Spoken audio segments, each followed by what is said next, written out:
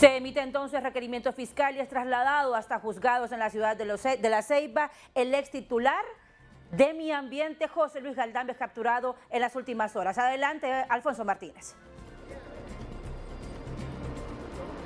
Gracias, licenciada Claudia Almendares. José Antonio Galdame Fuentes, de 52 años, fue trasladado hacia los tribunales de justicia. El Ministerio Público lo está acusando por explotación ilegal de recursos naturales en su modalidad de transporte. Quiero indicarle que fueron 60 sacos de carbón que le compró a una cooperativa en el sector de las Camelias que está ubicado en San Francisco Atlántida.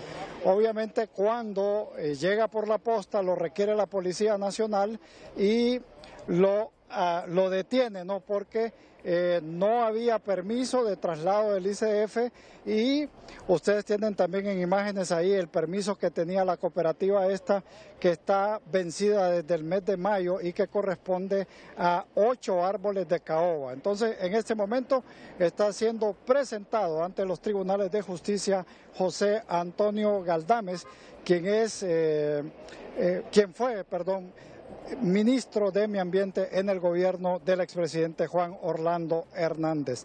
Es la información que tenemos, vamos a darle seguimiento a esta noticia. Volvemos con ustedes hasta estudios principales de hoy mismo.